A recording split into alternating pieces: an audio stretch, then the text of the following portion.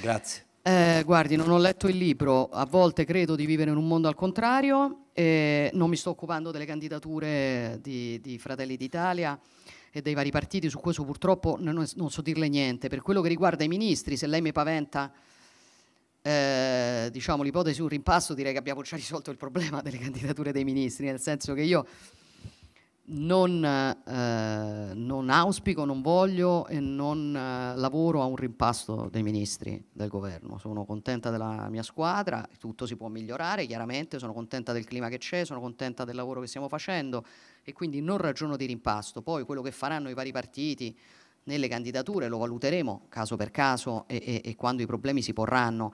Per ora noi abbiamo solamente parlato dell'ipotesi di eh, candidare i tre eh, diciamo, leader dei partiti della maggioranza. Come dicevo, questa è una scelta che secondo me è cor- corretto fare insieme.